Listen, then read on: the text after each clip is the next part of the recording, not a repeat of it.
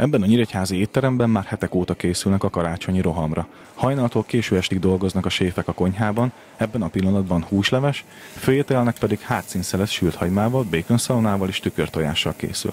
Sokaknak meglepő ez a karácsonyi menü, de a tulajdonos Nádasdi Péter szerint egyre többen térnek el a megszokott ünnepi menütől, és próbálnak ki új ételeket.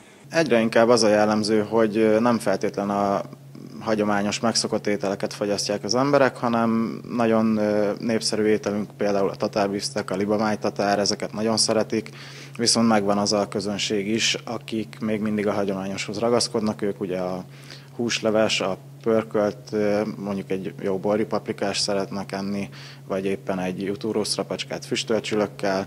Ezek a legjellemzőbb ételek így, így karácsony környékén, amiket felsoroltam. Az év utolsó heteiben rohanunk, szervezünk, ajándékot vásárolunk, és fejben már az ünnepi menün gondolkodunk. Van, akit ez mind energiával tölt fel, viszont van, aki inkább a kényelmesebb megoldást választja.